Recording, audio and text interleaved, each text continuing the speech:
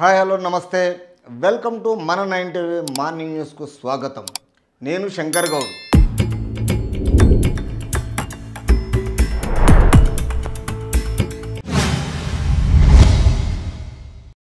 మగాడివైతే ఒక్క సీటు గెలిపించుకో. కేటీఆర్కు ముఖ్యమంత్రి రేవంత్ రెడ్డి సవాల్.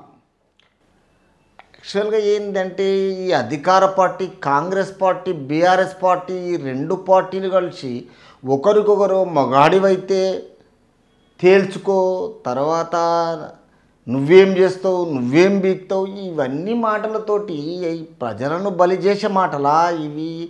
లేకపోతే మీ కక్ష సాధింపుల గురించి ప్రజలను మొత్తం ఏదో విధంగా ఈ అన్పార్లమెంట్ లాంగ్వేజ్ వినిపించడమా? లేకపోతే మీ కక్షలు ఏంది? మీ పోరాటాలు ఏంది? ఎవరి గురించి? ప్రజలు ఇచ్చిన అధికారమే కదా. ప్రజల గురించి మంచి మాట్లాడండి. అసలు ఇది మాట్లాడితే మీకు వచ్చేది ఏముంది? అంటే ఈ పొగడతలతోటి మీరు ఎక్కడికి వెళ్ళిపోతారు? అది అర్థమైతలేదు ఇది. ఇక్కడ బీఆర్ఎస్ పార్టీ ఇది నేర్పింది మొత్తం కాంగ్రెస్ పార్టీకి. కానీ ఈ విషయానికి ఆలోచన చేస్తే నువ్వు మొగాడివా నేను మొగాడివా అంటే అది ఎవరు నిర్ణయించాలి? కొంచెం అర్థం ఉండాలి అసలు ఆ మాటలతోటి తర్వాత కేటీఆర్కు ముఖ్యమంత్రి రేవంత్ రెడ్డి సవాల్ మేము ఎప్పుడు పోతామని చూస్తారా? నువ్వే కాదు మీ అయ్య కూడా ఈ కుర్చీని తాకలేడు. అల్లా టప్పగా రాలేదు కార్యకర్తల కష్టంతో వచ్చాము రాష్ట్రాన్ని దోచుకున్న మీకు ప్రజలు బుద్ధి చెప్పారు. కేంద్రంలో బీజేపీ బీఆర్ఎస్ కలిసే ఉన్నాయి. అంటే రేవంత్ రెడ్డి గారు ఏం చేస్తున్నారంటే బీఆర్ఎస్ పార్టీ ఎప్పుడైతే కాంట్రవర్స్ చేస్తుందో అధికార పార్టీ మీద కాంగ్రెస్ పార్టీ మీద కాంగ్రెస్ పార్టీ ఏంటంటే పది సంవత్సరాలు మీరు ఏం చేసినా మిమ్మల్ని అడగలేదు. పది సంవత్సరాలు మిమ్మల్ని ఏం చేసినా మేము అడగలేదు. ఈరోజు మేము చేస్తుంటే పదే పదే ఎందుకు కాంట్రవర్ట్ చేస్తున్నారు? ఎందుకు ఈ నిర్లక్ష్యంగా మాట్లాడుతున్నారు? ఈ గాలి మాటలతో మాట్లాడి ప్రజల్లో మీరు ఎందుకు చైతన్యవంతం చేసుకుంటున్నారు?